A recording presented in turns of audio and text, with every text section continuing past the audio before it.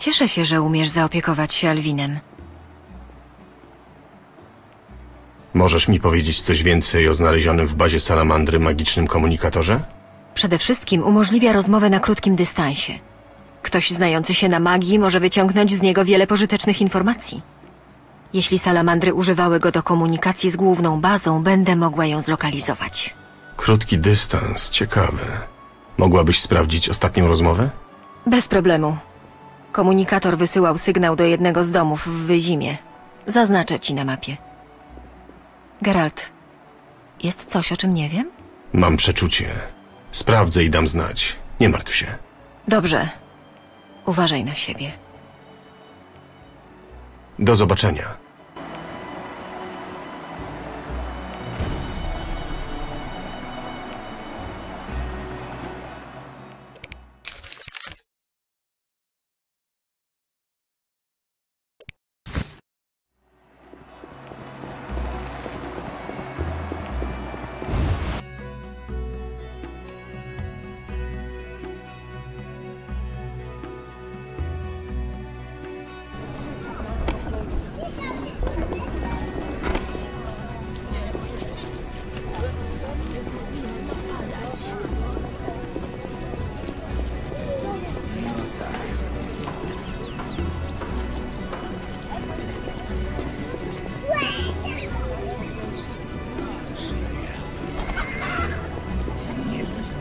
Się na ulewę.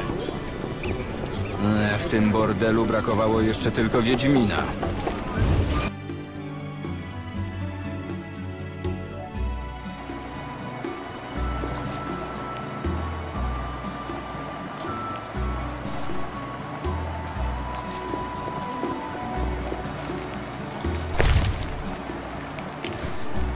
Wytarłeś buty przed drzwiami? Widziałem wczoraj czarodziejkę Mary. To chyba najpiękniejsza kobieta na świecie.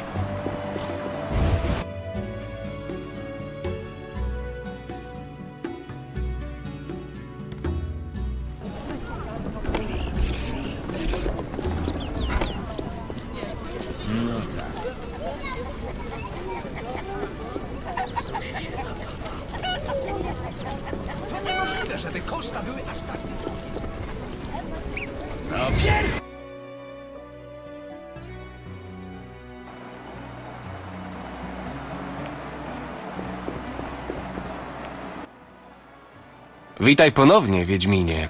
Witaj, Radowidzie. Tym razem nie dzieli nas magiczne lustro. Cieszę się, że zdołałeś namierzyć moją kryjówkę. Tris Merigold maczała w tym palce, prawda? Znasz Tris? Nie osobiście, ale znam Filipę Eilhart, a to tak, jakbym znał wszystkie czarodziejki.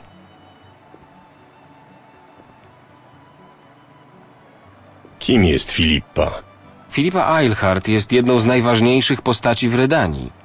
Zasiada w Radzie Regencyjnej, dopóki młody król nie osiągnie odpowiedniego wieku, by przejąć władzę. Przekupiła, omamiła lub zastraszyła połowę wpływowych osobistości Redanii. Dodatkowo jest członkinią Loży Czarodziejek, do której należy również twoja Tris. Czarodziejów nie przyjmują? O ile wiem, nie. Ale nie śmiej się. Każda z tych kobiet uważa, że ma prawo decydować o losach świata. Skoro tak mówisz, Nie lekceważyłbym czarodziejek. Są piękne, mądre i pomocne, ale to tylko pozory. Jeszcze się z nimi rozprawię. Jedyne, co przemawia na korzyść twojej znajomej czarodziejki, to fakt, że już kiedyś zdradziła przyjaciółki. ufam Tris. Przypomnisz sobie jeszcze moje słowa.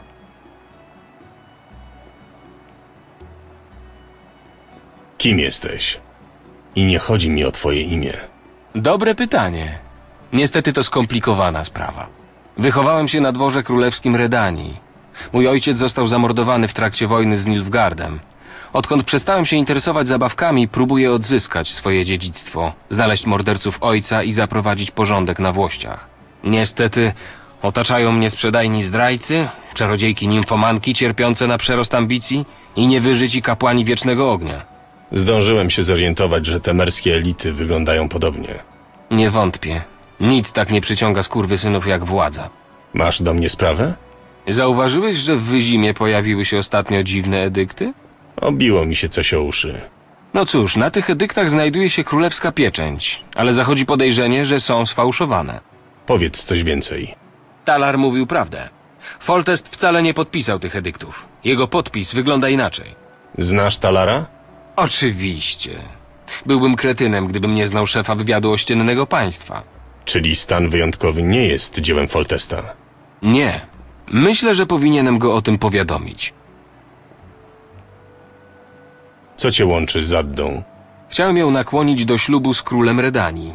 Taki mariaż byłby korzystny dla obu państw. Dzięki pomocy Foltesta król Redanii mógłby wreszcie pozbyć się pasożytów i zacząć normalnie rządzić. Temeria zyskałaby zaś wsparcie w walce z wiewiórkami. O rozwoju handlu nie wspomnę. Do tego połączone siły obu monarchii byłyby w stanie przeciwstawić się rosnącej potędze zakonów rycerskich, czcicieli wiecznego ognia, coraz silniejszych gildii kupieckich i cechów rzemieślniczych, co więcej, Wystarczy, przekonałeś mnie. Niestety nie jestem księżniczką Addą. A ty, Wiedźminie, co sądzisz o foltestowej córce? O co konkretnie pytasz? Pytam cię jako eksperta od potworów. Adda była strzygą, odczarowałeś ją. Owszem, Czy będzie mogła mieć dzieci? nie widzę przeszkód. Normalne, zdrowe, ludzkie dzieci? Tak mi się wydaje. Ale byłoby dobrze, gdyby któryś z wiedzących rzucił na nią okiem. Dziękuję, Wiedźminie, to dla mnie ważne. Chciałbym, żeby ta rozmowa została między nami. I jeszcze jedno. Wiem, że Adda jest tobą zafascynowana. Mam nadzieję, że nie będziesz próbował pokrzyżować planów dynastycznych Redanii. Nie obawiaj się, królu. Nie będę się mieszał. Kiedy się zorientowałeś? Twoi ludzie patrzyli na ciebie w dziwny sposób, kiedy mówiłeś o Redanii i Addzie. Jeśli będziesz kiedyś w Redanii, odwiedź dwór królewski. Bywaj, Wiedźminie. Bywaj, królu.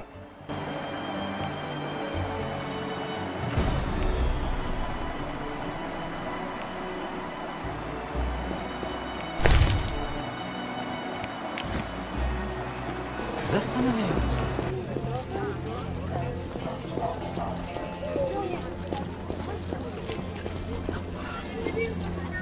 Szkoda dla was słów.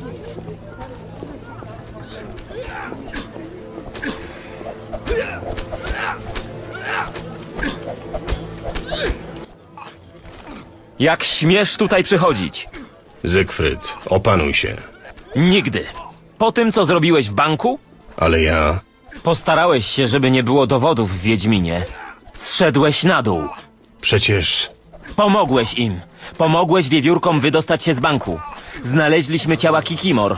Skojatelnie poradziliby sobie sami. Gdyby nie prawo, sam bym cię załatwił.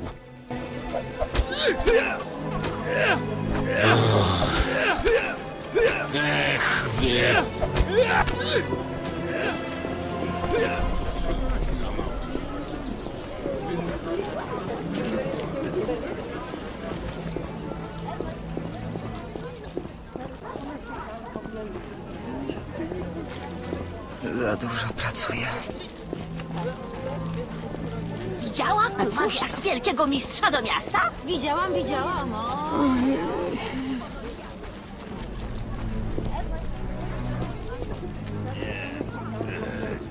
Jutro.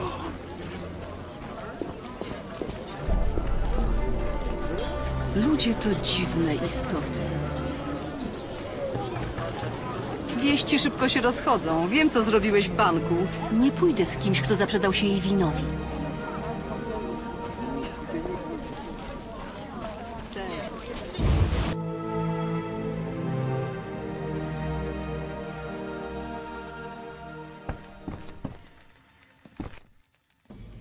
Co cię sprowadza, Wiedźminie? Bywaj.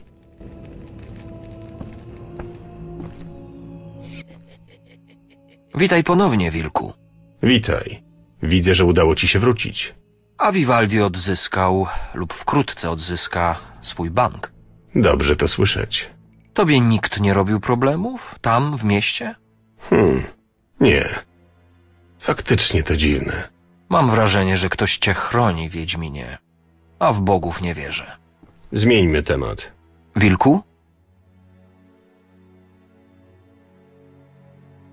Iwin, czy ty naprawdę wierzysz w zwycięstwo? Czy ja wyglądam na szaleńca i samobójcę? Nie ryzykowałbym życia garstki ocalałych Enseed i tygodniowych tortur zwieńczonych egzekucją, bo to właśnie mnie czeka, jeśli dam się złapać dla wątpliwej rozrywki. Z pewnością. Powiem ci szczerze, Geralt, zwycięstwem będzie każde, nawet najdrobniejsze ustępstwo, przywilej, prawo przyznane w wyniku naszej walki. Proces musi ktoś rozpocząć. Później to już tylko kwestia czasu. Mam dla ciebie propozycję. Chcesz zniszczyć salamandrę? To też dłan i mieszają mi szyki bardziej niż inni. Mów. Mam potężnych znajomych, którzy wiedzą, jak zniszczyć tę organizację. Cóż, nie powiem, żeby mi na tym specjalnie zależało, ale ty nie odmówiłeś mi pomocy. To znaczy, że ich wysłuchasz? Tak, Wilku. Podaj tylko czas i miejsce. Karczma nowy Narakord wyzimie handlowej. Wyzima jest pilnie strzeżona, ale znajdę sposób. Dla ciebie. Do zobaczenia na miejscu, Wilku. Czekaj na nasz sygnał.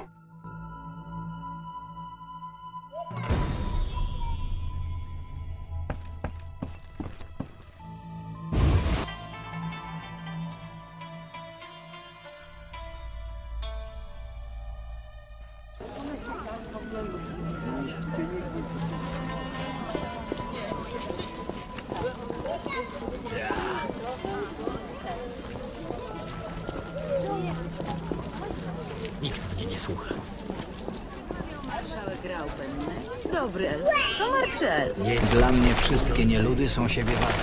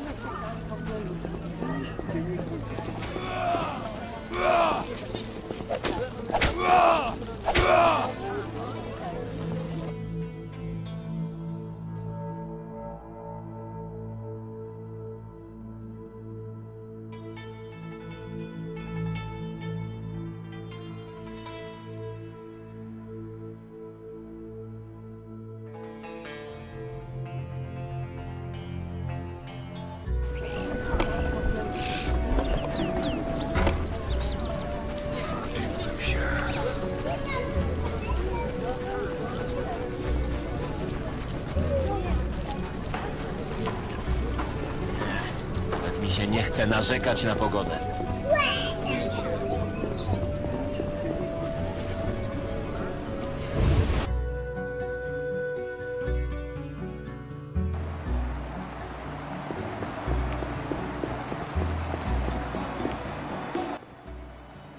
Cieszę się, że umiesz zaopiekować się Alwinem.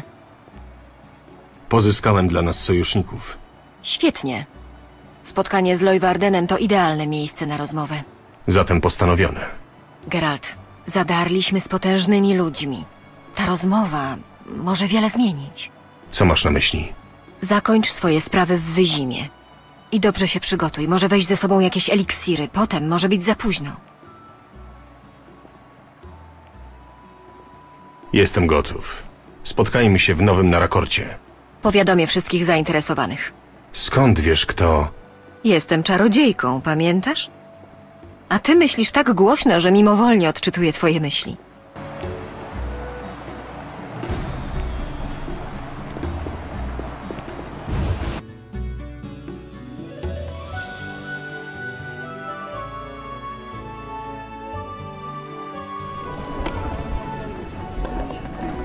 Znaj swoje miejsce, Wiedźminie.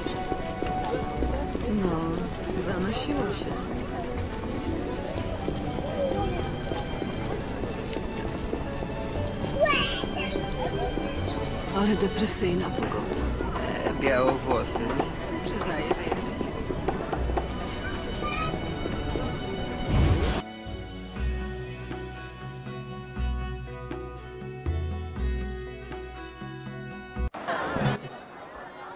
Geralt, jesteś w niebezpieczeństwie. O co chodzi? Wojskowi dowiedzieli się o waszych spotkaniach, a Salamandra ma wtyki w armii. Musisz uciekać. Nie mogę. Muszę porozmawiać z innymi. Salamandry zaraz tu będą. Zatem stawię im czoło. Uciekaj. Zwariowałeś? Wiedziałem, że nie uciekniesz, nawet na to liczyłem. Nie daj się zabić, Geralt. Ty też, wilkołaku.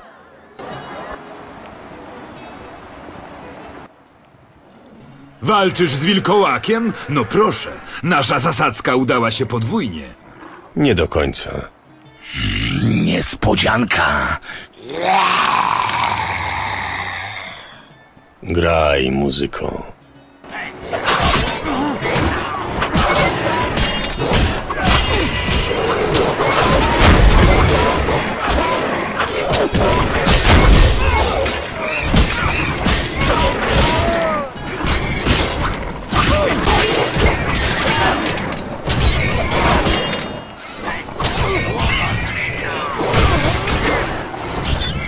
Pozwoliłem żyć Vincentowi.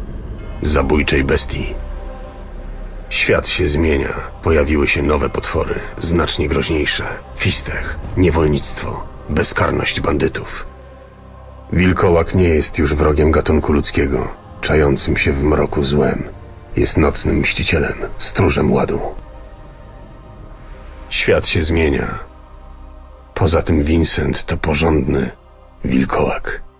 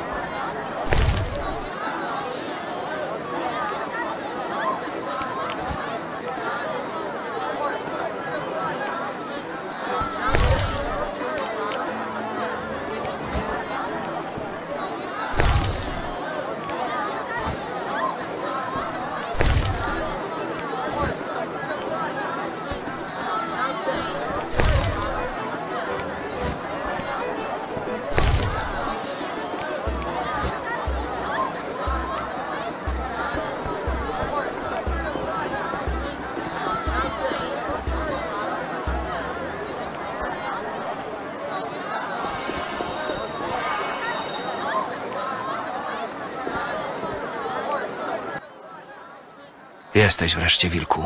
Witajcie. Czekaliśmy już tylko na ciebie. Postanowiliście coś? Owszem, powiedzmy, że Jejwin zgodził się na współpracę. Pod pewnymi warunkami, Dwan. Mniejsza o warunki, tym zajmiemy się później.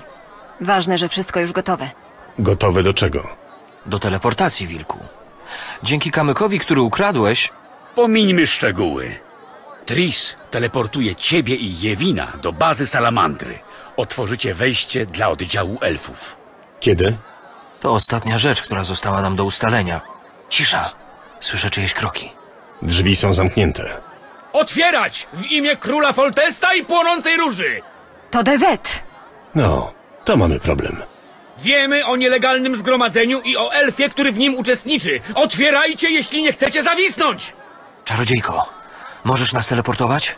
Mój oddział jest już gotowy. Czyście wszyscy poszaleli? On ma rację. To może być jedyna szansa. Alk Imbaga Hara!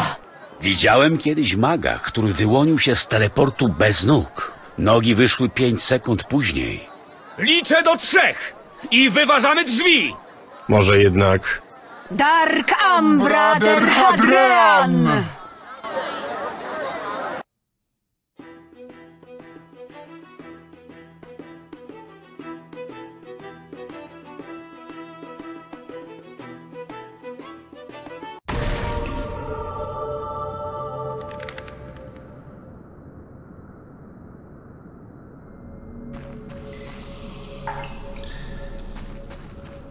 Gdzie do cholery jestem? Muszę powiedzieć pani czarodziejce, że tym razem nieco przesadziła.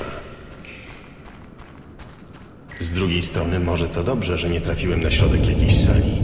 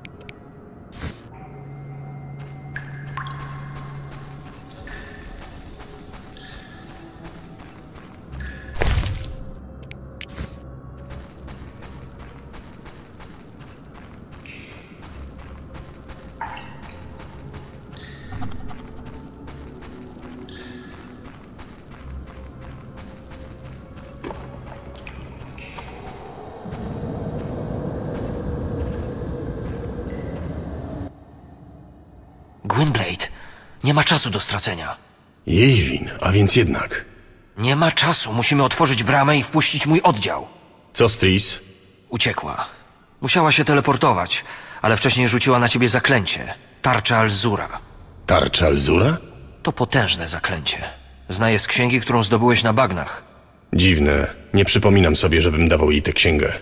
Gwynblade, mój oddział stoi już w pogotowiu. W pojedynkę nie przejmiesz całej bazy salamandry. Jakieś pomysły? Salamandry wchodzą do swojej bazy używając magicznego portalu, stworzonego lata temu przez moją rasę.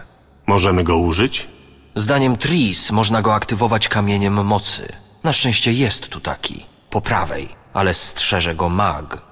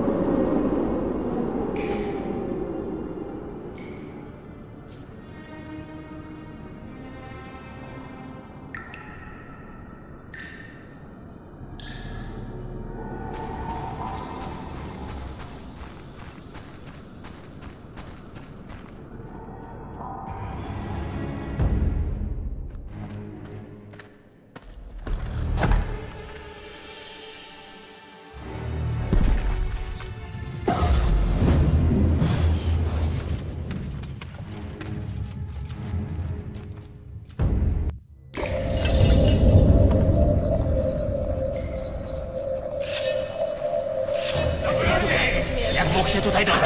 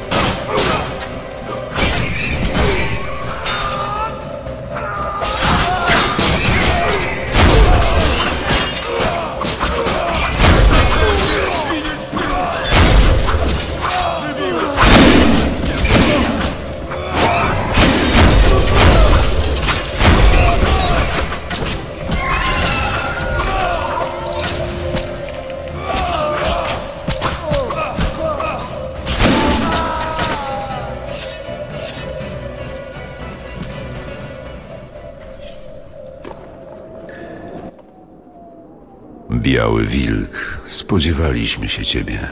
Widzę, że wszyscy są w komplecie. Dobrze. Załatwimy całą sprawę za jednym zamachem.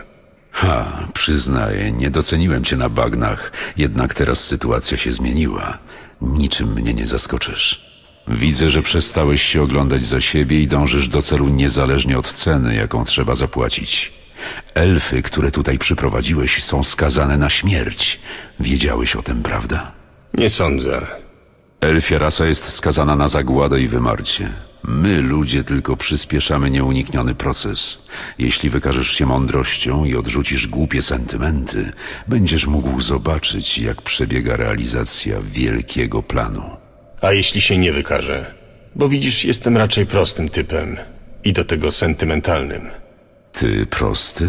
Nie rozśmieszaj mnie, Geralt, ale to bez znaczenia. Nic się nie zmieni, poza tym, że będzie o jednego Wiedźmina mniej.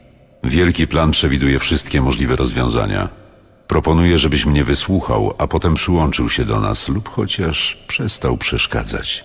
Mów, byle szybko. Źle nas oceniasz, Geralt. Walczysz za cudzą sprawę w imię jakichś niesprecyzowanych idei. Błądzisz po omacku w labiryncie cudzych intryg, nie dostrzegając sedna sprawy. Nie znasz wielkiego planu. Prawda jest taka, że krajem rządzi zdegenerowany monarcha, który pozwalał swojej potwornej córce mordować poddanych przez wiele lat. W trakcie wojny troszczył się tylko o własną koronę. Pozwolił Nilfgardowi splądrować i spalić sąsiednie królestwa, z którymi wcześniej zawarł przymierze. Prości ludzie umierają tam z głodu do dzisiaj. Sam powiedz, warto za niego walczyć? Miałeś się streszczać. Masz rację. To retoryczne pytanie. Jeśli nie Foltest, to kto? Loża czarodziejek? Nic o niej nie wiesz. Możesz sypiać z Marigold, ale nie masz pojęcia, do czego są zdolne te suki. Powiem ci tylko, że wywarły spory wpływ na ostateczny kształt traktatów powojennych. Przesiedlenia, deportacje, nierozwiązana sprawa z Kojatel to tylko niektóre z ich dokonań. Widzę, że w swoim wywodzie zmierzasz do jakiejś niesamowitej, przełomowej puenty. Salamandra nie jest zła. Nie bardziej niż to konieczne. Nie bardziej niż wszystkie stronnictwa biorące udział w tym konflikcie. Nie bardziej niż ktokolwiek obdarzony ambicją i wolą, by samemu kształtować swój los.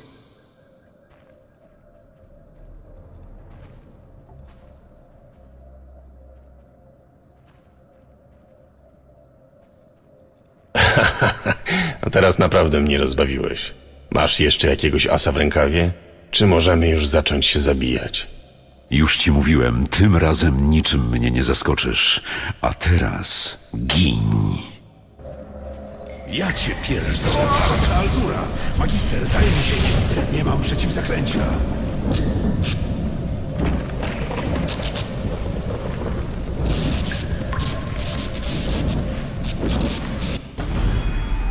Na bagnach Javet nie wytrzymał nerwowo. Mógł mnie wykończyć i zabrać księgę zaklęć. Ale zmiękł i uciekł. Tarcza Alzura zadziałała doskonale. Javet zwiał, ale zostawił magistra. Następnym razem nie ucieknie.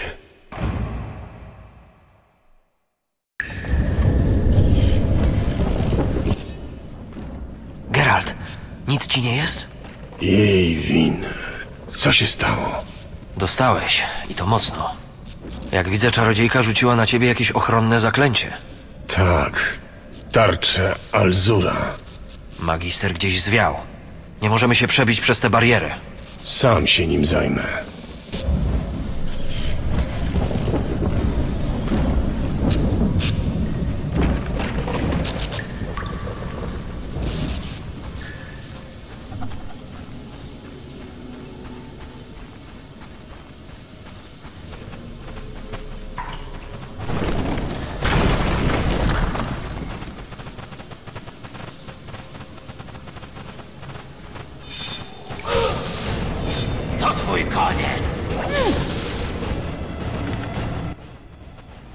Przyznaję, że w odmienny sposób imaginowałem sobie nasze ponowne spotkanie. Zanim nastąpi nieunikniony koniec twojego sztucznie wydłużonego życia, udowodnię ci jego bezcelowość. Umrzesz świadom, że byłeś jedynie błędem historii. Błędem. Nie pierdol, magister. Odpowiedz mi zatem na jedno pytanie. Dlaczego za wszelką cenę nie chcesz dopuścić do stworzenia nowych Wiedźminów? to proste. Wbrew temu, co o was mówią, czujesz, czujesz, że nie ma dla ciebie miejsca w tym świecie. Swoje istnienie zawdzięczasz koniunkcji sfer, podobnie jak relikty pokoniunkcyjne, które eliminujesz z takim zapałem. Wiesz, na czym polegał błąd twoich stwórców? Nie pierdol, mówiłem ci.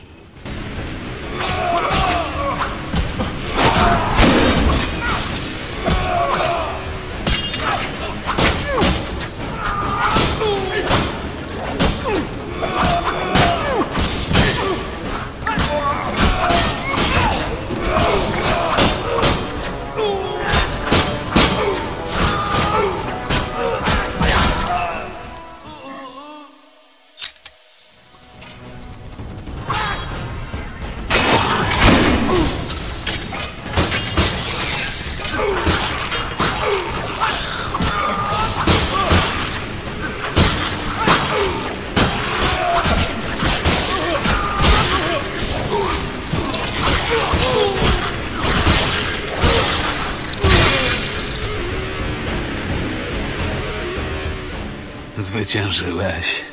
Możesz zabrać drogocenne wiedźmińskie skarby. Osiągnąłeś cel. Okaż łaskę pokonanym.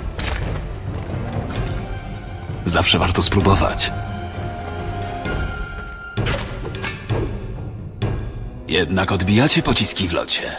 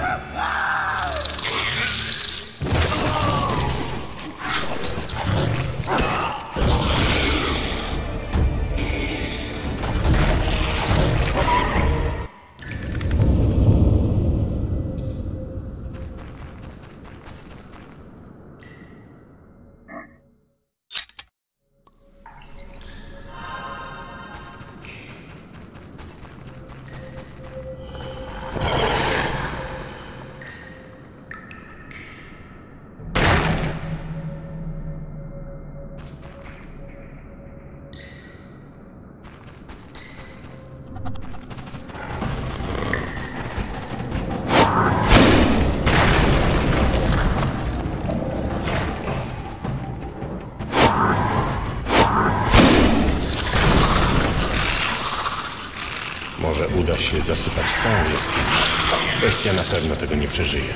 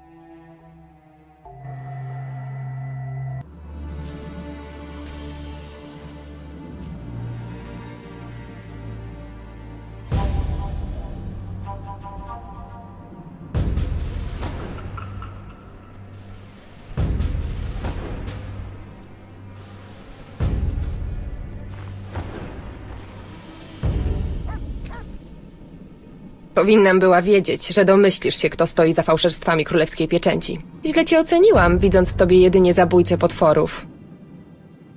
Wiele zyskuje przy bliższym poznaniu. Czy jest szansa, że nie domyśliłeś się wszystkiego? Niestety wiem, że pod nieobecność ojca planowałeś zamach stanu i przejęcie władzy.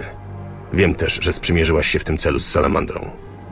Nie zmieniłam planów i ty mi nie przeszkodzisz. Niniejszym skazuję cię na śmierć. Wyrok zostanie wykonany natychmiast.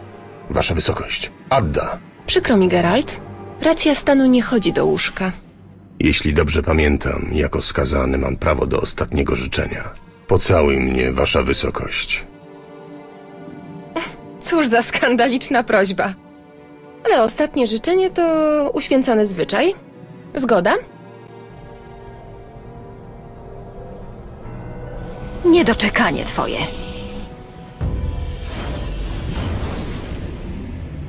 Ktoś go teleportował. Zapłacą za to.